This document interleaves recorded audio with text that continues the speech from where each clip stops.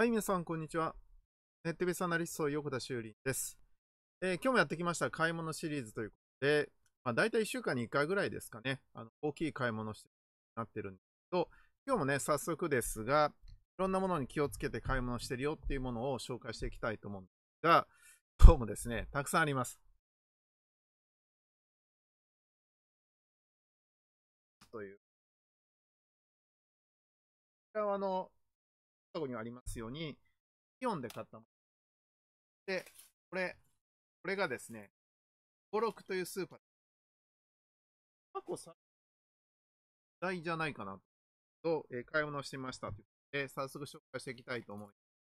はい、まずですね、最初なんです。こちら。はい。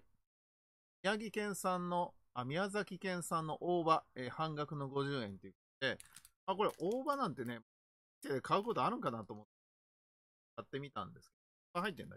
入ってんの。買ってみたんですけど、まあ半額だったので、まあ、あの、この後紹介します。今日あの、マグロのですね、切り落とし、あ、これもやっぱ半額だったんですけど、これが安かったので、えー、これと一緒に食べようかな。で、まあ巻いてでも食べようで、えー、買ってきました。はい、続いてですね、小松菜。はい、これ、元いくらかちょっとわかんないんだけど、30円ということで、えー、もうかなりね、もう、売れているんで、なってるんじゃないかと思いますけど、はい、これ買いました。はい、あとです。どんどんいきます。かけめかぶという、半額買いました。はい、あとね、見切り品いっぱいきますね。はい、バナナ。78円。バナナね、安かったので、使っておきました。8円。3本入って、6本です。続いてですね、ちょっとこれ買って失敗したんだけど、人参75円。あ、8円75円だからそんなに安くなってないんあの、魚六に行ったらもっと安いのがあってちょっとショックなんだ。これね、じゃがいももね、あの、16円ということであんまり安くないんですよ。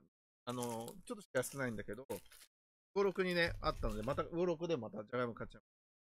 ここまでが、あ、まだあるか。はい、そして、はい。もうね、イオンの方でが時間も遅かったのやって、はい、こちらですね。豚肉のトンティはい。で、169円ですね。で、の鶏、ささみ。で、3で、はい、えー、出ました。9月20ちょっとなんか、見た目がやばくなってきてる。はい、そしてこれ、牛豚焼肉セット。これも半額。390で、えー、ここまでが安いやつ。あとは、えー、かぼちゃ。さっきちょっと切ってるやつ買いましたけど、なくてもいい。まあまあ、水量かなと思いました。は、キャベツ。これいくらだろうな。いくらかな。玉。これは普通の定価。で、あの、もう定番になりますが、あ平飼い玉。で、109プラスじゃないかな。りました。ここまでがイオン分です。ということで、はい。が、はい。感じですね。まして、全部で2296円で、はい、結構買います。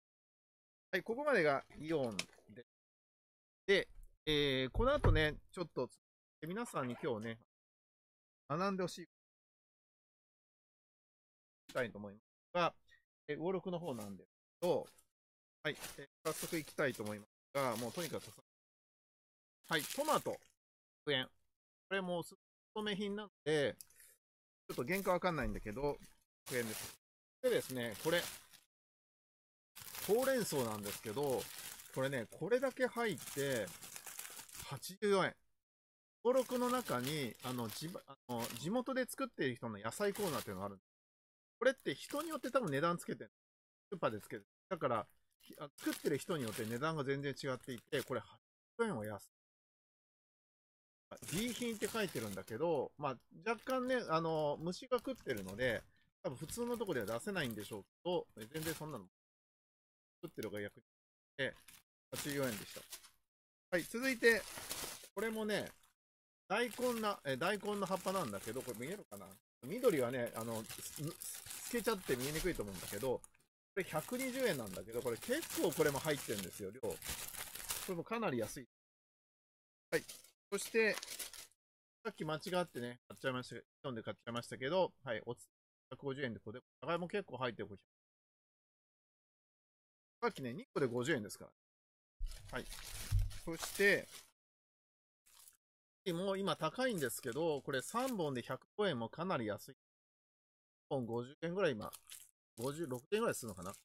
で、はい、安く買いました。で、はい。ね、で、はい。昆布。はい、57円ということで、これも半額ですが、え、当然これ、あの、昆布しか入ってます。材料は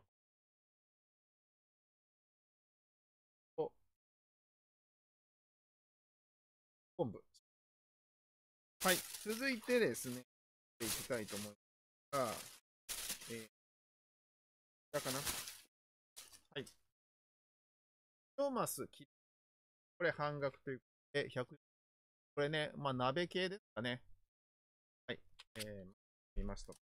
で、安いのは多分、あと、初めて買いました。ぶどうなんて人生で買うかなと思うと、今旬ですし、280円で、まあちょっとで、うまいものっていうか、やつに。あで、あとですね、前回買って、やっぱり気になっていた、生姜。生姜がですね、意外にこれあの、料理にいいなと思う。これだけあればね、どのくらい料理に使えるかなって、なんで入れたんですね。これ、生姜って体にいいじゃないですか。しかもこれね、味が出て、なということで、これは生姜はね、料理で愛用するんじゃないかと思います。で、あと、まあ、いつものですね、はい、こちらのね、なんです。これね、何がおすすめかっていうと、はい、えー、原材料が、まあ、国産大豆が使っていて、遺伝子組み換えでないというもの。で、えー、あと、凝固が、凝固剤ですね。えー、しか入ってないと。ね。最近起き、この、こういう、パックになってまあ、非常に使いやすいです。で、えー、これまた前も買った。で、これあの、加藤、加藤で、しかもですね、表記見て。あ、トウモロコシが入ってないんですね。100円か。電子組み換えでないということで、を買いました。で、今日ね、最後に皆さんにお話したいのは、納豆の話なんです。以前から納豆の話をしているんだけど、はい、これね、2つ納豆があると思うんですけど、片っぽのこっち側の納豆は3つで49円とかで売ってます。こっち側の方は多分、出したら198円とか、ね、えー、ぐらいだから、もう値段は全然違うんですね。3個パックで。じゃあこれね、なんでこんなかっていうことで、2つ並べてね、今日ちょっと見せたいなと思うんですけど、はい、えー、出てますでしょうか。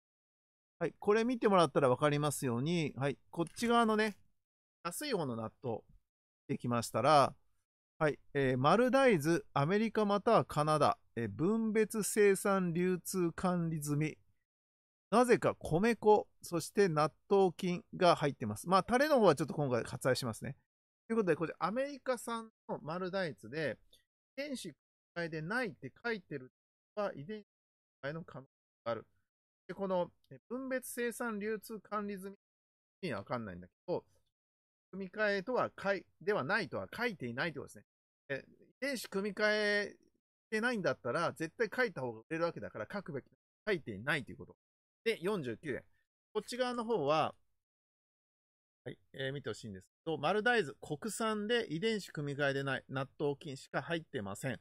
なので、値段にこれだけ差がつくという。で、えー、皆さんもですね、納豆を買うときに、まあ、タレはちょっともう、論外ですよ。タレはいろんなもの入ってるね、論外なんですけど、以外のところで何値段が違うことがわかるかなと思います。で、えっ、ー、と、僕のですね、買ったものの中この、東の国産納豆、あ、ごめんなさい、98円だ。98円と58円だ。これ、2倍です。58円、98円です。だから2倍ね、40円しか違わないんだけど、これだけね、中身が違うっていうね。なので、納豆を買うときも、ぜひ皆さん、なっていうふうに思います。はい。ということで、今日ですね、あの、ちょっと今日駆け足でしたから、早めに終わりますが、あのいろんなね、えー、買い物していく中で、結局ですね、もう、あの、加工品と言われてるものはほとんど買ってないということで、原材料しか買ってないっていうことがわかると思います。加工品は本当に買えないですね。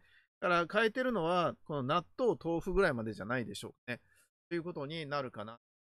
ます。えー、これをですね、まあ、いろんな形で料理にしていきたいと思うんですけど、まあ、皆さんもですね、こんな感じで、食品添加物とか、まあ、ちょっと農薬は今回わかんないですけど、まあ、化学調味料とか、えー、こういったものに気をつけて、えー、買い物していっていただきたいなっていうふうに思います。えー、もしね、皆さん今日ご覧になった中で、えこういうものを買った方がいいよとかですね、えこれ入ってるから良くないんじゃないとかですね、何かあれば、コメントなどいただけば嬉しいなと思います。よろしければチャンネル登録よろしくお願いいたします。ということでですね、今日の買い物シリーズはこれで終わりたいと思います。ありがとうございました。ではまた明日。バイバイ。